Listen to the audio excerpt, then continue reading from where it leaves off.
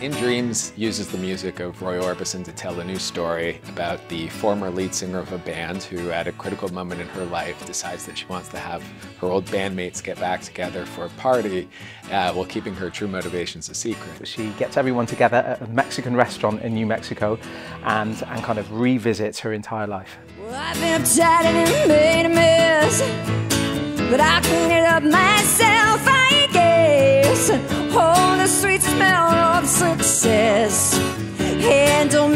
with care. I'm so tired of being lonely. I still have some love to give. Won't you show me that you really care? We like to think of it as the celebration of a lifetime.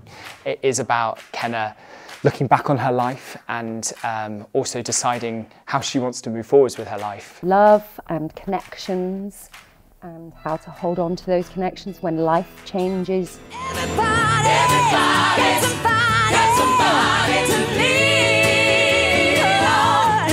Put your body, put your body next to mine and dream on. It's funny, it's witty, there's a lot of heart in it, and the music of Roy Orbison uh, was kind of on my radar, but when I heard the songs sung in the context of our show and alongside our script, they, it just elevated it, and I think people are going to have a really good time watching the show. is a, it's a great catalog of music that maybe you don't know you know, but you'll know a lot of the songs, whether it's because of Roy himself or because of people who have covered those songs. It is a beautiful story with amazing music.